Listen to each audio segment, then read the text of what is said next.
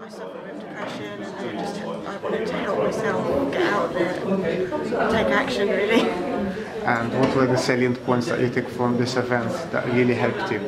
Um, it was about the mind, like the exercise where you put your arm around. You said that you can, if you can visualise it, you can do it. If you really believe that you can do it, you can do it.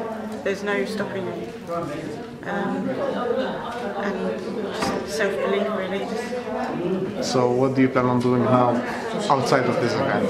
Are you going to put anything into action from what was said? Um, yes, I want to get myself off antidepressants. Um, I've managed to lower doses on it, but I need to get off them because I'm fed up with it feeling clogged in it. um, that's the main action, get off medication.